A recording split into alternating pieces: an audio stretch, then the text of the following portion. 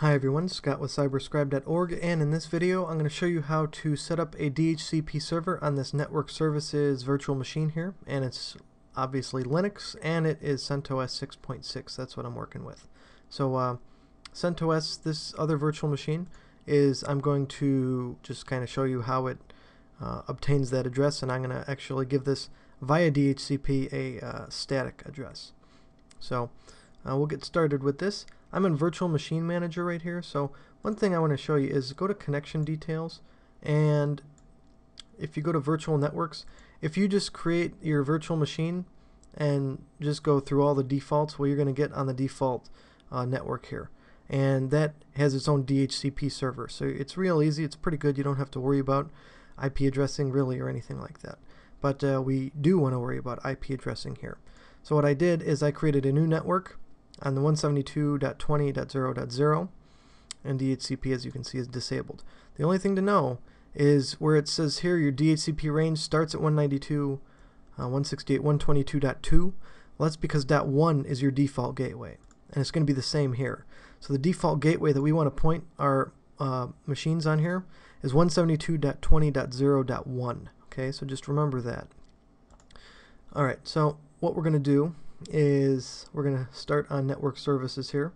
And you can see it's the IP address right there is already statically addressed. And uh, CentOS virtual machine we'll go to this one. You can see there is no IP address uh, assigned yet because it's it tried to find a DHCP server and there isn't one. So what we're looking at here on the uh, this is a client machine is using uh, the etc sysconfig network scripts of ifcfg-eth0 and you see on boot yes. Okay so that you want it to dynamic um, you know as it boots you want it to get that address so you don't have to worry about IP addresses. And boot proto is DHCP okay that's why right now it doesn't have a an IP address because there is no DHCP server on this network. So we're going to set that up on this network services here and pretty easy to do. We're just going to go yum install DHCP and we're just going to do that real quick. And what we do is uh, just make a couple configuration file changes. And let me uh, okay. And so now let's go into cd etc dhcp and you see you can do it for uh, IP version 6 as well. We're just going to do IP version 4 and just go to vidhcpd.conf dhcpd is the daemon that you're going to start and stop things with. So just be aware of that and there's not really much here but uh, it does give you some other man pages and things that you can look at. So I'm just gonna create this file from scratch and uh, you know it's uh, you can look at the documentation as well. So what we're gonna do is we're gonna say we're gonna set a default lease time and a maximum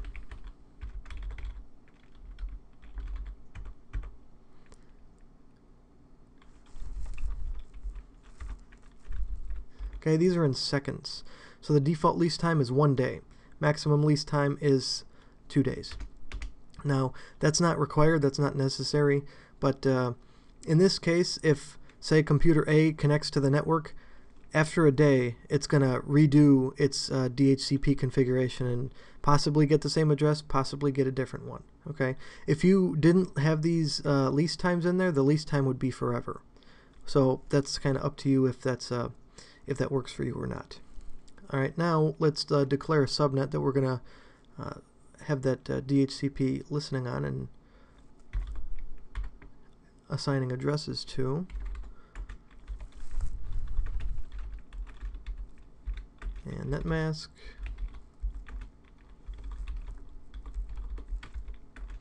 Open some brackets and let's go option routers.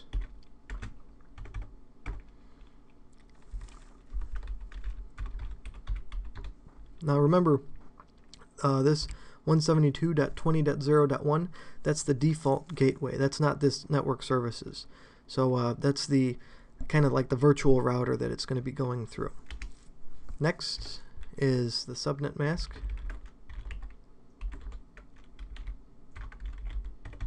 And just 255s. Next, we're going to have the uh, domain name servers.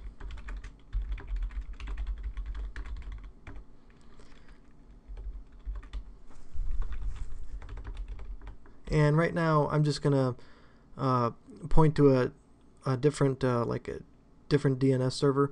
In the future, I'm gonna make a video and I'm gonna set up uh, on this network services machine. I'm gonna set up a DNS server here too. So then I'll just point it back on itself. And also for the NTP,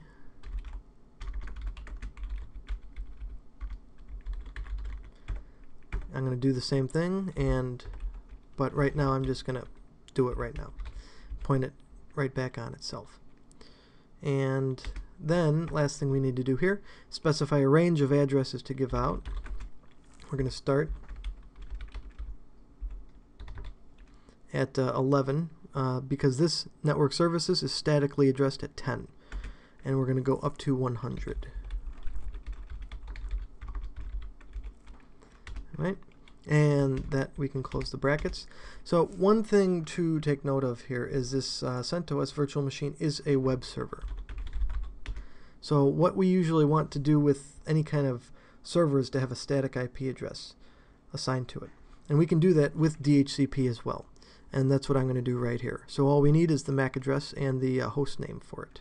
So I'm going to say host web serve because that's the that's the host name. And let's go option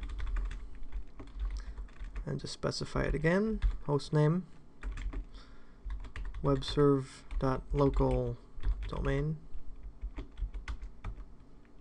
And next is the MAC address so hardware ethernet 52540094 45 CE. Okay, remember semicolons at the end of all of these. And after that, fixed address. So this is the one that we always want assigned to it. 172.20.0.20. Alright, and let's close that bracket.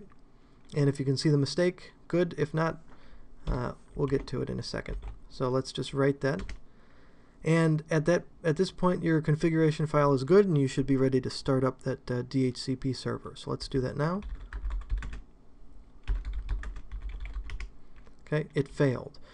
Well, you might have already seen the mistake that I made, but the thing is, if you make a mistake in this configuration file, it's not going to start up. So one way to find out, uh, to have it read the configuration file and give you some input is go to just type DHCPD.